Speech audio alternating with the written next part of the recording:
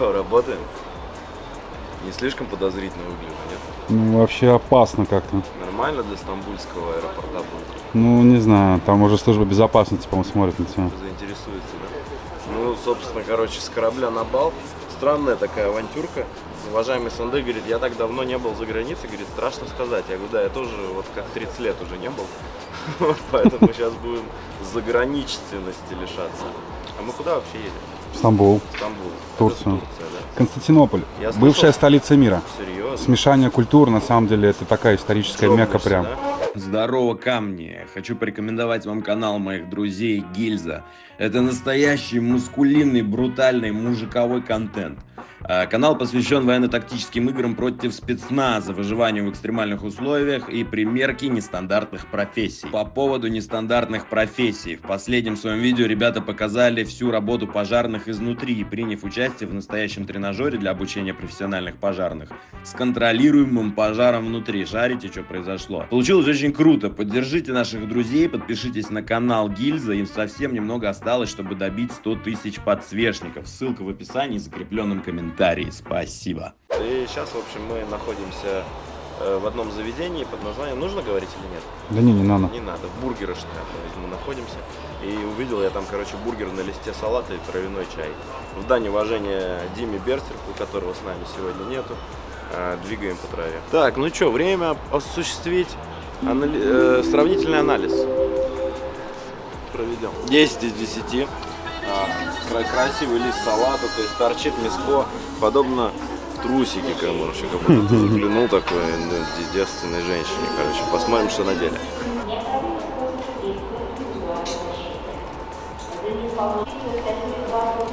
Не отличить, я считаю, бля, заебаненные усы совершенно. Мне кажется, это детей в такое заворачивают, знаешь, А, в капуста. капусте находят, когда точно. Прям холодный чувак. Не, ну лист салата теплый был бы не очень. А где вот эта черная, шту- красная штучка сверху, типа, ну там это перчик, а томат вяленый, да? Ну, в принципе, я думаю, для тех, кто не любит булку, зайдет. Бифштекс. Ну, отведаем. Ммм, хуй там. Удачное начало положено путешествие. Травяной чай будешь? Ну, это можешь попробовать. Сейчас скажешь как. Знаешь, как пахнет? Как наволочка пенсионера, который постоянно пьет кроволол. На вкус так же примерно. Собственно, нормально. Владос. Чего? Ты что тут делаешь? Достраиваю дом свой. Скоро готов будет. Как тебе? Иди, вылезай. Вылезай, вылезай. Слушай, Владос, ты оператор, конечно, хороший и мужик отличный, но я считаю, что каждый человек должен заниматься своим делом и то, что у него очень хорошо получается. Поэтому давай вот это вот бирюльки вот эти, блядь, сейчас уберем. И я тебе кое-что расскажу. В общем, на ютубе есть такой мужик, его зовут Александр Дубовенко, и он является основателем такой компании, как Goodwood. И они занимаются тем, что строят загородные дома под ключ. На своем канале Александр рассказывает о том, как построить надежный дом с нуля, то есть э, какие материалы использовать, дерево или камень, короче, какие отделочные материалы и, собственно, все в этом духе. То есть для таких людей, как мы с тобой, которые ни хрена в этом не понимают, это настоящая находка. То есть они берут вот эту вот инициативу на себя и, так сказать, принимают свое профессиональное решение.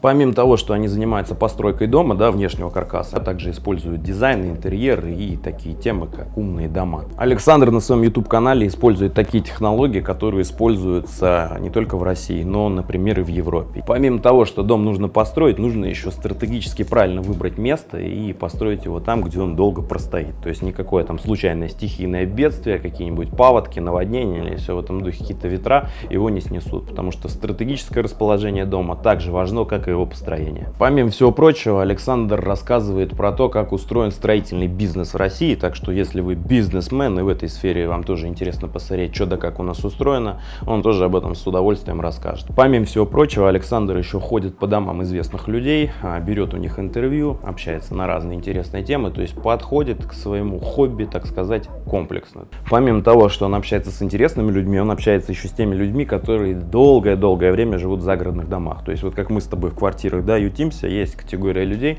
которые живут исключительно за городом, и у них, естественно, уже выработалось какое-то свое понимание жизни и каким должен быть настоящий, комфортабельный, удобный, функциональный дом. С ними он тоже общается, и они дают свою, так сказать, оценку и делятся опытом в этой сфере. Ну и, конечно же, интервью с архитекторами, строителями и разными людьми разных конфессий, которые преуспели в строительстве и проектировании каких-то жилищных, так сказать, комплексов. Существует житейская народная мудрость, которая гласит, что любой уважающий себя мужчина должен родить ребенка, построить дом и вырастить дерево. То есть, если ребенка завести в городских условиях, в принципе, можно, то построить дерево уже проблематично, а выстроить дом совсем другая задача.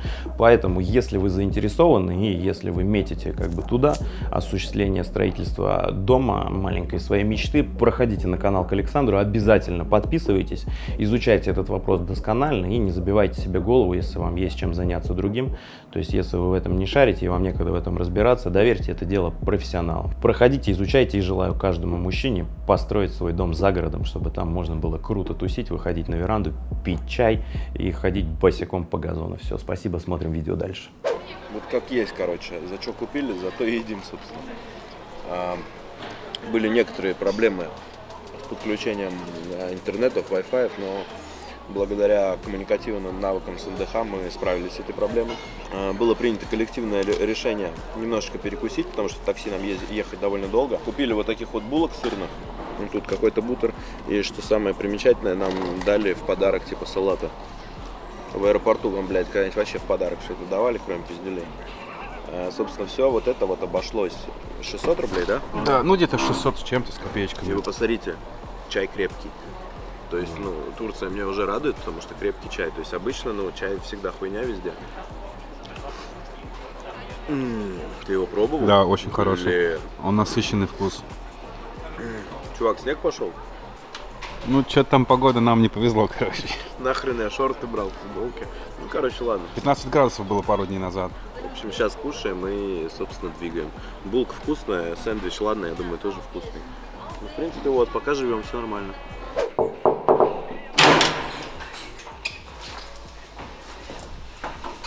Страшно. Ну что, всем добра, безопасной, комфортной среды обитания на этот раз. Шустренький роутур, рум-тур, э, шоурум, короче, по домам, да? По домам. По домам, короче. На самом деле, да, на самом деле, когда мы сюда за это самое запиздились, мы как будто в каком-то гетто, чувак. Ну, судя вот по этим надписям, короче, и все. И мне кажется, здесь, ну, если ты в бегах каких-то российских, то, в принципе, неплохое таки место. Затеряешься. Можно потеряться. Но, честно говоря, вот если брать а, вот эти вот забегаловки в Сочах там или еще где-то, здесь прям дорого-богато. Ну, монументально. Это мы с собой возьмем, вручную кладь. А, собственно, ну все такое, как бы, ну, крепенькое, то есть, ну, не на соплях, знаете, так вот интересно, что отдельного внимания заслуживает, это амбарная дверь. Бля, это моя любовь и страсть, потому что первая квартира, которую я снимал в Питере, то есть там бы- были кое-где вот такие двери, и я вообще думаю, почему они не везде, ну это же круто, то есть нету вот этой вот хуеты, то есть по сути вот, то есть я вообще фанат вот этих дверей. И, ну она типа как под мощную сделана, но, ну, бля, ну, не, нормально. Забавно, что загнут металл. Ну это типа такие всякие. От, отсылочки. Ну, вообще, на самом деле, у них тут все почему-то такое. У них все такие, все такие витые, украшения. Это даже проглядывается вот здесь. Видишь, вот тут вот душ, нахуй, то есть такие вот. Тоже все такое витое, загнутое. Ну, видишь, чувствуется вот богатство, статус. Видишь, тут орнамент. Ну, красиво, блядь, красиво. Я первый раз, мне кажется, вижу стеклянную раковину. Ну, да, ну, блядь, что-то на богатом, на самом деле. Очень мощная вот эта вот штука, мрамор, короче. Доска толстая, смотри, на самом деле пиздатая дверь. Дальше. Вот стол, мне интересно, что в нем, ну, как бы. Похоже, как будто на швейной машинке или, не знаю, старые вот ножки Мне или кажется, он что. какой-то то ли раздвижной, то ли складной. Но он тоже довольно мощный и пиздец какой тяжелый. То есть тут все очень такое тяжелое, мощное. Стул, я такой подумал, надо его за ножку поднять на видео, но мне кажется, я хуй его оторву. Он прям реально тяжелый. Кухонка, а, ну тоже на богатую, мне кажется, чувак. То есть она, это тоже камень получается или что это? Это столешница обычная, скорее всего, искусственная. Столешница из камня. Да. Металлические Вот эти все. Немножко пострадала раковина, но мне кажется, ну как по мне добавляет ей. А знаешь, что я думаю? Они не сняли... А, или это под медь было сделано, Подметь, понял? Да, да, но немножко как бы не довложили. Это что такое? Посудомоечная машина. Да, нам еще сказал этот самый чувак, который нас сюда заселял. Russia? Мы говорим, yes, и он типа показал, что тут где-то есть стоп-кит под водку. Ну, типа, это не шутка. А, вот они, наверное, да, чувак? Ну, по его мнению, русский пьют водку из таких Я думаю, стаканов. Да, причем это не закусывая, как этот, как в кино чувака, которого расстреливали, помнишь? Да. Перед расстрелом он на третий стакан типа кусочек взял. Бля, мне всегда грустно, ну вот в холодос, ну хоть что-нибудь бы положили, знаешь, ну чисто, чтобы лежало такое. Несъедобное, но а, высокое искусство. Не совсем понимаю, почему кровать нашу, ну, двуспальную раздвинули, распилили. Но мы потом это сдвинем, соответственно. Это что-то... Что ты здесь видишь, Сань? А, Я вижу здесь э, старый советский мультик про енота черного, про крота, помнишь? Э, Он латышский, возможно, этот мультик, Я возможно, понял, нет. Вот А это я вижу музыкантов. Ну, гитара Вот этот чувак на гитаре, вот это кто-то поет тут с фруктами. Вот это не могу понять, что. А, а мне это вот, который А, справа? танцует женщина. Вот, тоже. вот, балерина, как будто, да. А.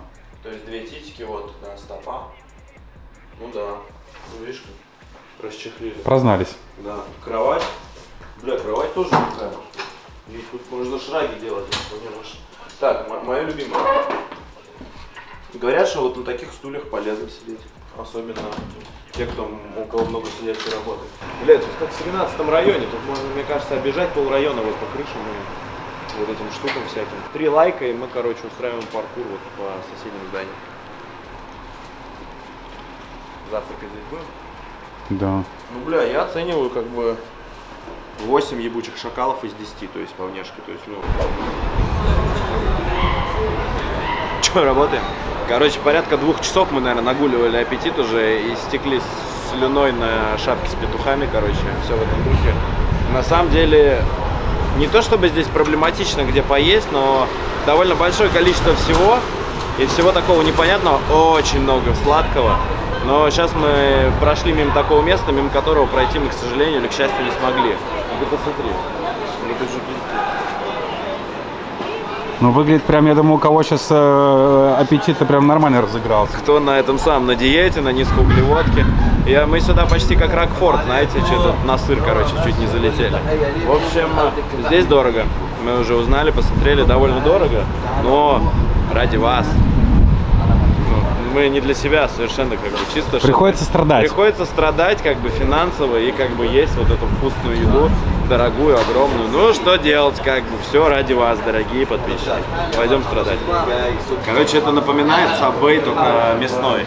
В общем, э, выпиздывается огромный кусок мяса, огромный кусок плоти из туши, э, накидывается всякие, короче, пряности, там, еды, перцы сыпятся, и все остальное без лимит. Чай, кофе, айран вроде бы, вода, то есть можно брать сколько угодно, насколько мы поняли. Вот, салатики еще есть, да. Но в основном это чисто вот по мясу двигается две- две темы. Вообще мяса здесь очень мало. В основном сырые, сладкое, блядь, каштаны на площадях с кукурузой. И вот мясо прямо, вот мы, наверное, два места увидели, вот здесь прямо концентрат мяса. Мы хищники. Пробуем. Пробуем. Hello, man. Алло. О, Бежать туда, что ли? Туда, что ли? тебя узнали. Да, да, он говорит, заходи. احسن واحد في تركيا كلها حبيبي Оу. Мужик, это недорого, мне кажется, очень круто. Очень круто. انتظر انتظر على احمد من الرجال يصور لما يجي دورك لما يجي دورك احنا عند الاصحاب شنو خربت؟ هذا جريفي يسوي لنا شو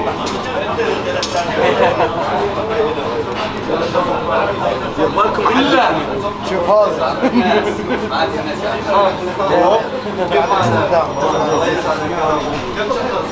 Бля, чувак, это просто Реально?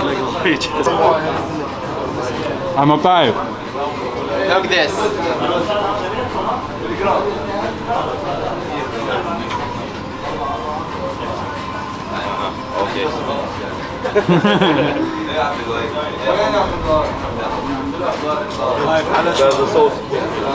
Okay. Look this. Yeah.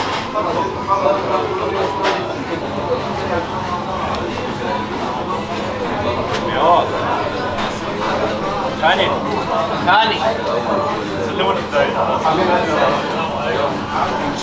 Ты ел какое-нибудь мясо с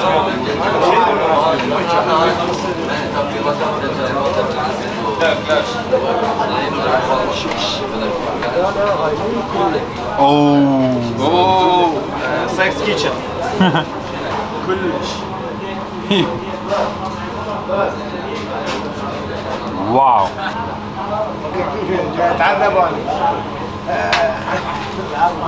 Вау. يلا ايوه بلا شنب ايوه سيبك من الشنب الف Очень странно. قوية М, Интересно. Вау. هذا والله ما زين هذا مش زين لسه والله يا بد مو زين دمرتونا عمي رايك Очень произошла ситуация. в общем, неудобно очень получилось. Короче, нам сказали, что money free, короче. То есть да. Сказали, ну, типа, не надо. Ты видел там эту порцию? Там, блядь, целый мамонт, короче, Yes. лежит. И очень неудобно, на самом деле. Но мы сделаем, в общем, рекламу, место, геолокацию скинем, чтобы все сюда шли и заказывали. На самом деле, очень вкусно. Вот давали попробовать. Я вообще фанат сырого мяса, но вот это, бля, Что-то новое. это что-то новое, это было очень круто, серьезно.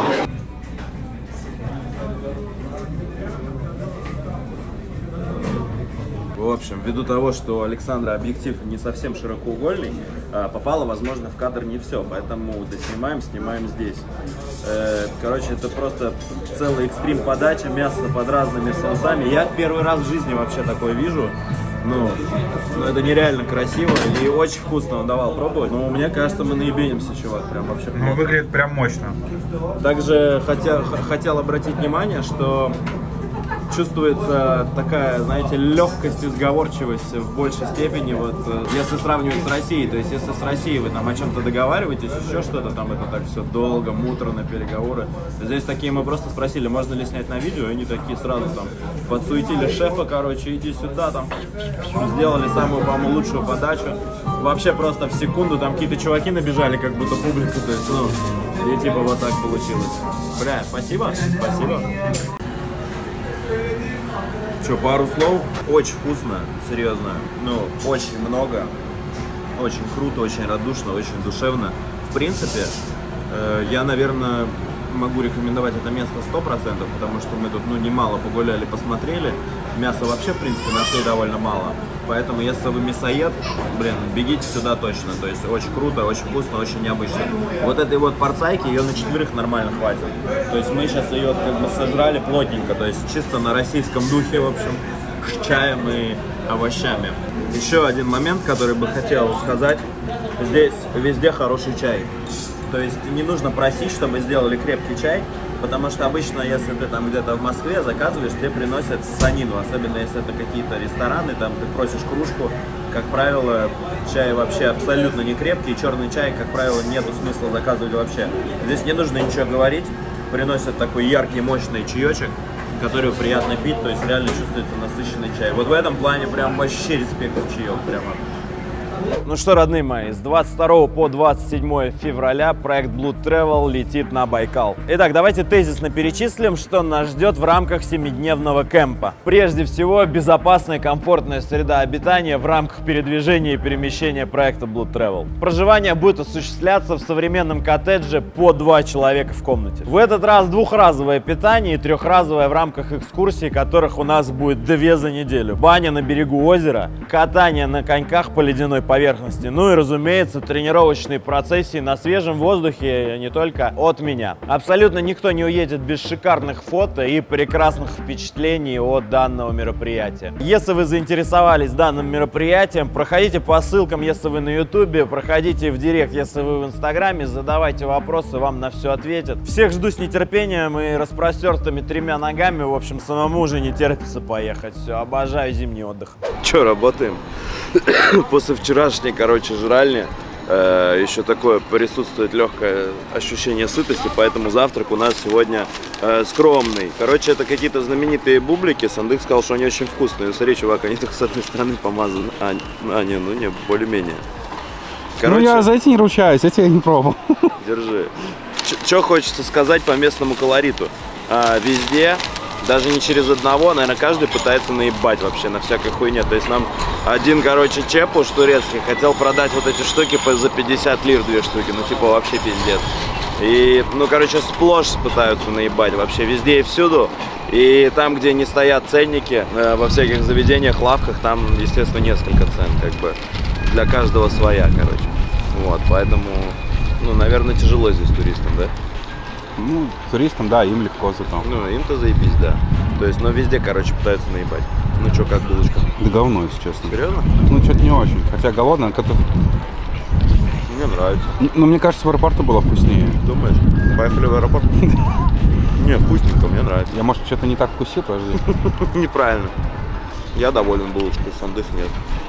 Сколько ебучих шакалов ставишь? Блин, я голодный. Я не объективен. Ну, 8, 7, Что-то ты расстроенный какой-то. да. И что касательно вообще, вот мы зашли на рынок, типа из разряда купить что-то интересное. Ни хера нету, один Китай. Ну, поле, паленка. Да, просто одно, одно палево, золото, видимо, не самые тоже хорошие пробы. Я думаю, даже не золото, а бижутерия Да. какая. Мы сейчас на Гранд-базар, а потом к мечетям. Усы, наверное, все всратые, да? Да, отлично. Нормально? Турецкий стиль. Окей. Мы находимся на площади, где сконцентрировано огромное количество мечетей. Что примечательно, это, наверное, единственное место, где нас не пытались обманывать сегодня. Ну, что символично и приятно. Вот, мы решили приобрести каштаны, они здесь продаются абсолютно везде. Э, Как вот у нас кукуруза, да, продается там на Невском и так далее. Вот здесь везде каштаны. Они жарят их прямо руками, без перчаток, короче. Сколько, сколько стоило 100 грамм? Э, 20 лир, это примерно с- 120 рублей, 110. Ну, это недорого, мне Ну да. кажется. На Невском бы каштаны стоили дороже, например. 8 штук. Ну да. Ну, такой запах, не знаю. А я никогда, кстати, не ел каштаны. Я, по-моему, ел детстве. Смотри, они волосатые. Ну, надеюсь, это волосы каштана. Картошка. Обычная картошка. Вообще прям. Ну, ты как-то аппетитно так сел, у меня, если честно, даже Не, они вкусные. Картошка. Да, знаешь, запеченная в костле, типа какой-то такой вот вкус. Более сладкая. Их надо чем-то запивать. Очень сухие. Очень сухие. Ну, очень похожи на картошку. Прям, мне кажется, из них можно долбануть пюре с огурчиками, селедочкой. Очень хорошо бы зашло. Вкусно. Не горчат, ничего. Довольно интересный вкус. Че, работаем? М-да. Ты посмотри. Нет, ну конечно, понятно, что рядом с рынком это не оригинальное место. А где мы, ты скажи А сначала? мы находимся в Стамбуле. В Стамбуле, близ Гранд-Базара. Собственно, слу- вообще пиздец, это было очень случайным образом. Мы наткнулись на франшизу одного заведения, одного очень знаменитого человека, э, мясных дел мастера, так сказать. Собственно, вот он, Нусред. Случайно вообще увидели, он прям вот находится там, блядь, палатки с какой-то, ну, с каким-то дерьмом, и типа его ресторан. И я такой, что это, типа. Я думал сначала, знаете, как вот у нас есть э, в каких-то городках, когда там, не знаю, рекламируют какие-то магазины, там Брюс Уиллиса, короче, вешают, там каких-то этих самых. Нифига, как Ох ты. быстро. А, Заказали салат буквально, ну, 5 минут назад. Нет, меньше, чувак. Меньше даже. Минуты за три салат принесли. Собственно, спасибо. Вот, и я думал, что это, короче, фей- фейк Нусред, но нет, это, короче, типа его франшиза. Соответственно, вот будем No, no, no, thank you. знаменитые чашечки чая, вот эти вот. Ты купил себе в итоге такие? Не, не довести все. Хороший в этот раз? Ой, Нам в этот раз с чаем не повезло, ну, то, что сегодня пили, Ну, да? понятно, мы Липтон, потому что пили, блядь, там на каком-то базаре, блядь, из пакетов. Конечно, не повезло. Чувак. Короче, заказали мясных продукций, заказали салатов. Насколько это все вышло, ты не считал? Дорого. Ну, примерно. В конце Ну, посмотрим. мы скажем, что стейк стоит 3,5 тысячи. Блядь. При том, Это- что, чтобы вы понимали, это не какое-то супер дорогое меню, там есть еще голд меню, там, где стейки вот этим сусальным золотом обкидывают, короче, обмазывают. По-моему, там типа вот 10 тысяч, что-то типа того Там вообще пиздец, Да. то есть как бы. А, в принципе, если мы соберемся в Дубайск когда-нибудь и прямо нужно будет вот это вот снять, прямо с настоящим Нусретом, в его оригинальном заведении с золотым меню. Ну, блядь, это кому-то реально интересно и нужно, как думаешь? Это смотрят обычно? Не знаю. Ну, если что, как бы можно будет это самое собраться, сделать, посмотреть. Ну, пока вот имеем то, что имеем, посмотрим, как здесь что. Сандых заметил, что у чувака, который нас обслуживал, грязный фартук, да? Да, прям в пятнах желтых.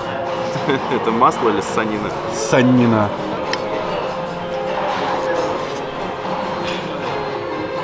Хорош? Очень вкусненько. Тут есть соус, который я не очень люблю, но у нас этим соусом вот так вот поливают. И салат получается как будто маринованный, кислый. Здесь вот чуть добавили. Очень вкусненько. Добавляет такую легкую кислинку, как что, знаешь, да? Да. Вот. Хороший салат. Сейчас сырик давай попробуем. Все вкусно. Принесли суши. В общем, прикол в том, что это суши мечта любого мужика, потому что в очередной раз, когда вас женщина потащит жрать в ресторан суши, которые вас заебли, вот такие суши, когда вам принесут, это будет прям вообще спасение. Это мясные суши с соусом из чего-то и вроде как картофаном мелким. Бахнем? Давай. Хуй знает, не могу характеризовать. Попробуй ты. Ну как-то типа хуй его знает, да? Я не понимаю, что это. Такая же тема. Это каша. Какая-то котлета. Это знаешь, вот есть суши хуевые, которые вот такие в ларьках продаются. Бумажная котлета, знаешь, какая-то, где типа не мясо, а, как говорят, туалетную бумагу добавляют. Ну, такое себе, если честно. Такое себе, да. Короче, это же действительно суши, смотри. Тут рис, мясо и картофан. То есть мы не ожидали, наверное, увидеть рис, поэтому, короче, он такие странные ощущения дал. Ну, сколько они стоили? Где-то 700-750 примерно. За три штуки? Да. Ну, вроде не очень дорого, да? Ну, да. Ну, короче, это как закуска такая, аперитивчик. Идея прикольная. Ты что Идея прикольная, но мне кажется, что вот этот э, сыр, или что это сверху, да, вот эти вот стружки. Соус? Не- стружки. это картошка. А, это картошка, Она да. как-то называется как А, пай. точно, есть же такие даже чипсы, да? Это пай называется, Всё. типа тон- тоненькая картоха. Вот. И рис, он забирает так вкус от мяса, что я мясо как бы не почувствовал. Мне хотелось почувствовать мясо, а я его просто не чувствовал. Да. Это как, наверное, знаешь, когда продают тебе суши, помнишь, мы в Москве заказывали, где э, рыба была с размером с листок, блядь, просвечивала. Такая вообще вот прям как-то так. еле-еле. А, Три ебучих шакала из десяти. Ну ладно, четыре за креатив, но и за идею. Но мне кажется, можно было бы сделать их поприкольнее. Ну это необычно. Почему-то я мало где такое видел, хотя мне кажется, идея сама просится. Я ел как-то суши из говяжьего языка вместо рыбы. Было довольно интересно. А вот прямо мясные суши, которые завернуты в мясо. Ты где-нибудь видел? Нет. Вот странно, почему еще никто не догадался. Это мой миньон.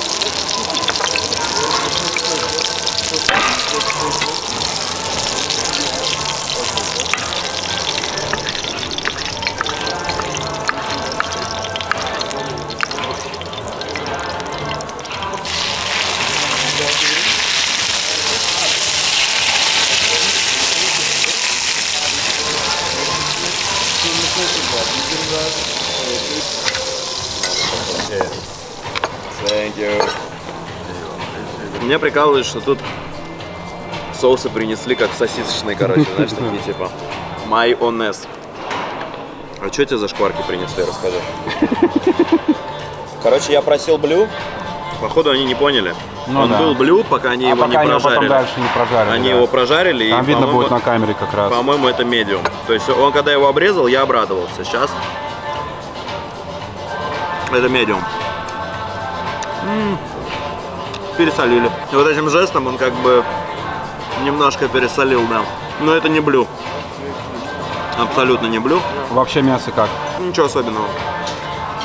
Ну, как бы не вау. А ты что заказал? Это какое-то их фирменное. Это ты жир берешь. У меня батя такое. Сурсет какой-то. Ну, Настер, Настерсет, блядь. Это типа их. вообще пресное. Но это и хорошо, ты можешь его посолить, и оно будет Мгм. норм. Потому что... Давай вот эту. Бахни мою. Очень много соли. Пиздец, очень дохера. Но Бургер? мясо хорошее. Ну, хороший, да, Да. мясо, мясо. Что, бургер вкусный? Да. Ну, бургер и бургер. Ну, ну, лучший чувак. Серьезно. Ну вот. Ну, как бы, я не выпендриваюсь, но... Ну и картошечку давай. Ну, картошка хуй. Ну надо уж раз это. Картошка топ. Очень Я хорошая. так хотел сказать. Картошка топ в натуре. Она даже, Хрустящая она даже выглядит прикольно. Не соленая, то есть она, ну, я не люблю соленую картошку фри. Подводим итоги.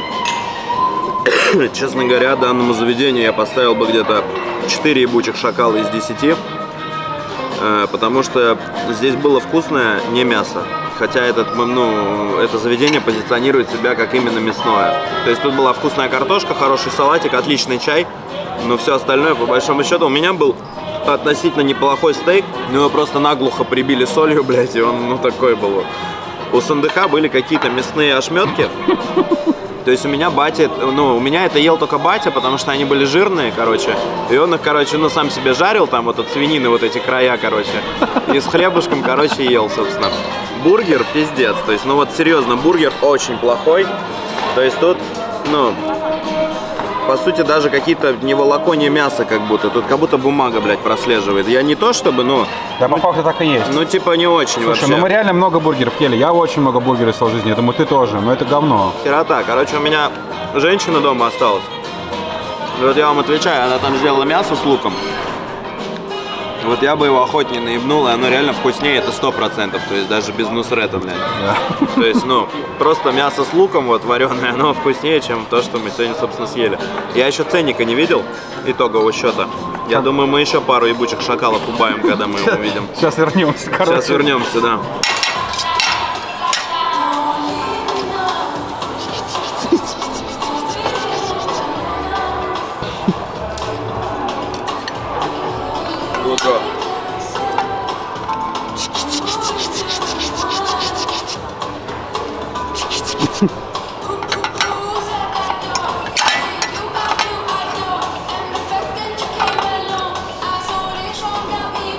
Ooh, wow. Wow.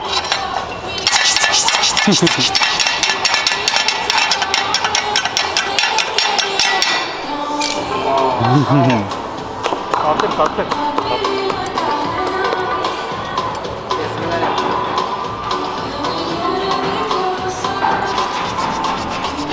Wow, mamma mia! Mamma mia! Enjoy, buon appetito! Thank you guys! Ну, собственно, короче, вот мы все поели, расплатились. Э, фотку чека мы пресобачим сюда. На самом деле существует ряд некоторых вопросов, на которые мы не нашли ответов. Например, почему э, вот эти шкварки с НДХ, вот эти вот, короче, стоили столь дорого.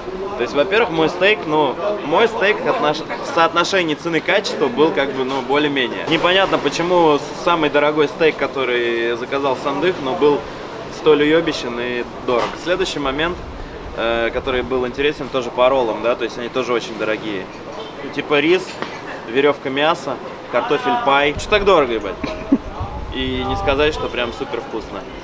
Э, Я не могу сказать, что мясо здесь было каким-то супер крутым. Допустим, мясо в Академии гриля Амуры Кучинара просто в десятки раз пизже и круче и качественнее. Ну, это не то чтобы реклама, это объективное сравнение. Вот. Понятно, что франшиза не может быть лучше оригинального места, которое находится в Дубайске.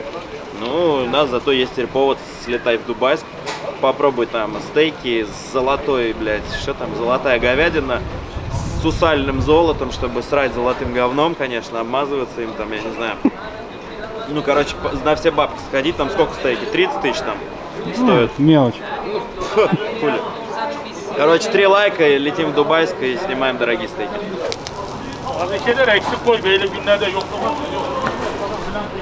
Дабы соответствовать местному колориту.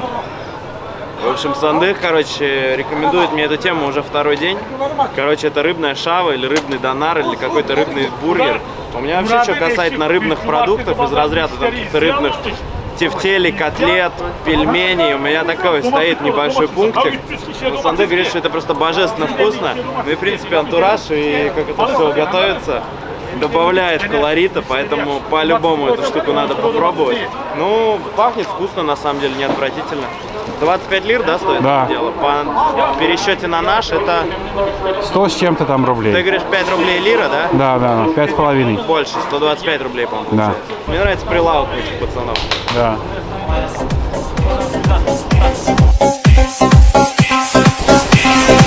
Еще, мне кажется, стильные чуваки. Очень стильные чуваки. Усы. Мне кажется, им можно было бы дать диджейский пульт с такой, музла, навалить.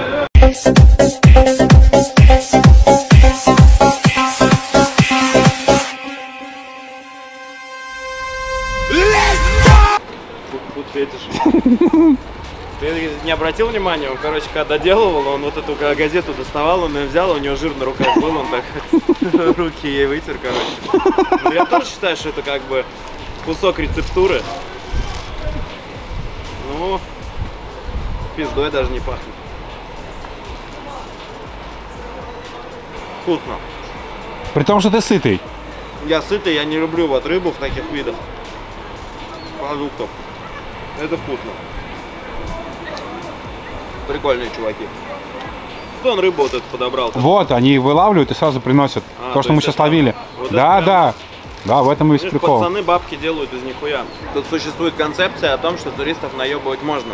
Потому что метро для туристов стоит в 10 раз дороже, блядь, чем для коренного населения. Сколько для нас стоит? 70 рублей? Ну, типа 75 даже. с курсом. 75. А для них? Ну, в два раза меньше.